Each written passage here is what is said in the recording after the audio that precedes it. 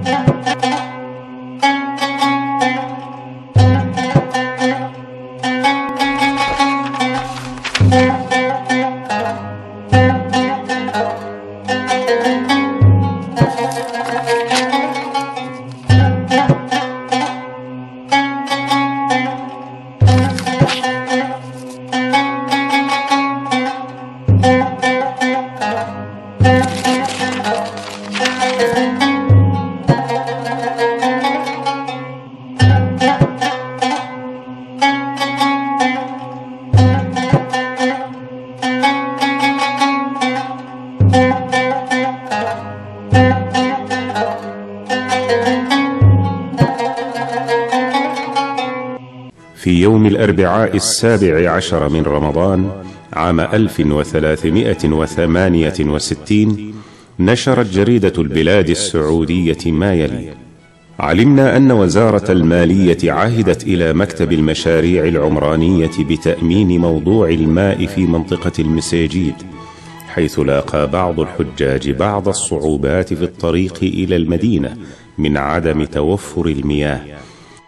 وبالنظر إلى أن الحجاج لا يجدون في الاستراحات المقامة في محطات الطريق راحتهم الكافية فقد عمدت الوزارة إدارة شؤون الحج بإنشاء مظلات على طول الطريق وسوف يبدأ العمل بعد عيد الفطر.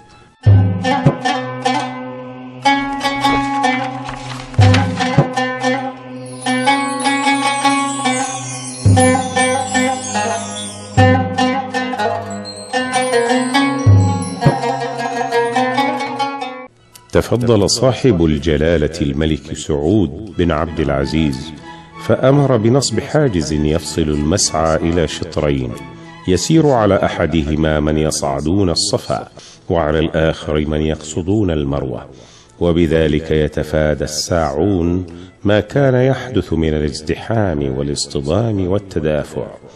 وقد بدأ بتنفيذ هذا العمل العظيم حيث تم تركيب الحاجز الجميل في جزء كبير من المسعى وسينتهي العمل منه في خلال بضعة أيام. نشر هذا الخبر في جريدة البلاد السعودية يوم الجمعة الرابع عشر من رجب عام ألف وثلاثمائة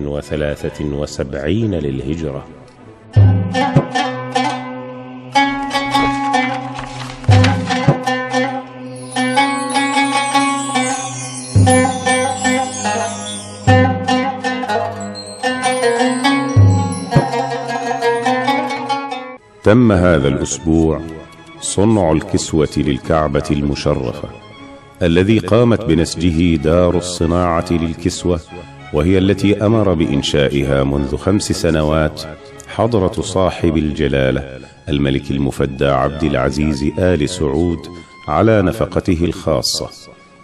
ومما يسرنا ويسر كل مسلم أن عمال دار الصناعة للكسوة من أبناء الحجاز استطاعوا في بدء هذا الأمر أن يتقنوا هذه الصناعة في أقل من بضعة أشهر.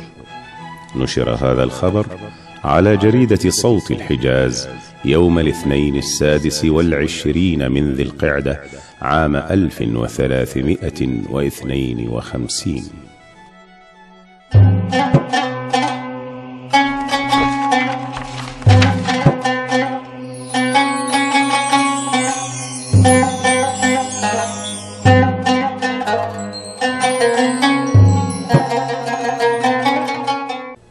ونقلا عن جريدة الأهرام من عددها الصادر بتاريخ الثاني عشر من رمضان عام ألف وثلاثمائة وواحد وخمسين نشرت صوت الحجاز في الخامس عشر من شوال من السنة نفسها الخبر التالي. بلغ عدد الراغبين في السفر إلى الحجاز لأداء فريضة الحج تسعمائة وستة عشر حاجا. وقد تم قبول عطاء الشركة الخديوية بالنظر لقلة الأجور التي حددتها. إذ قررت جعل الأجور في الدرجة الأولى اثني عشر جنيها وفي الدرجة الثانية تسعة جنيهات والدرجة الثالثة أربعمائة وأربعة وأربعين قرشا